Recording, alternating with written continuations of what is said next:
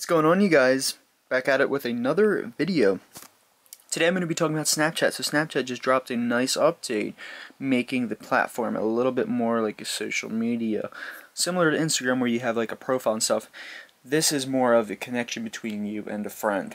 Um, here's my Snapchat if you guys are interested. It's Vinpuc. Feel free to add me, send me a snap or something. Let me know you've seen this video. I would appreciate it. Um, I will get close to my phone just for privacy reasons, because uh, some people don't want to be in the video, so I'm just going to get it really close for one moment. Um, so here's how the feature works. You see this person right here? This is my friend. If I hold down on the avatar, it's going to um, come up with all these options, but you could do the view friendship feature.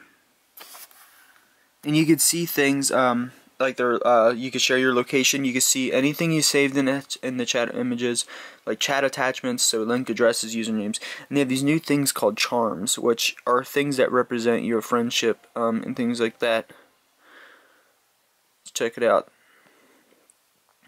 It shows like your uh, like the, they're almost like badges almost in a way, but it's all about relating with your uh, friend. Um, but yeah, I just wanted to show you guys uh, that this this feature is now out. Um, if you guys uh, don't have it yet, just go in the App Store and, and see if see if it's in there. Should be. Um, this this came out a couple days ago for me, but I, it, in the App Store, but it it said that it was it was out. But then I go to the actual app and it, it didn't show anything. But today uh, it was officially released. I got a snap from Snapchat, uh, and it kind of showed the feature and such. So I wanted to show you guys that.